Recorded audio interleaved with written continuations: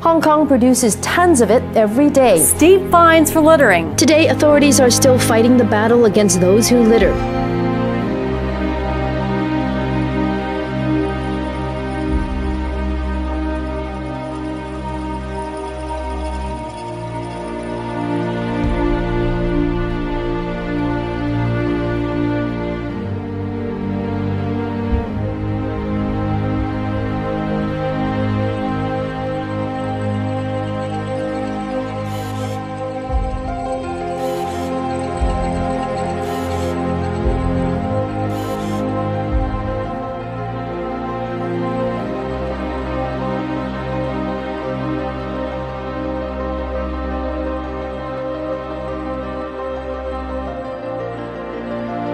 DNA is a blueprint for a person. We run it through the snapshot algorithms and produce predictions about that person. We predict eye color, skin color, hair color, freckling, the shape of the face, and biogeographic ancestry.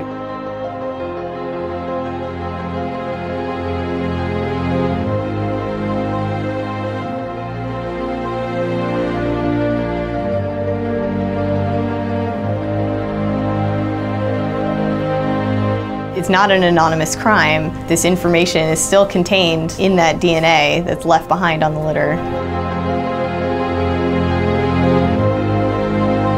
Well, next to Hong Kong, where you may want to think twice about littering.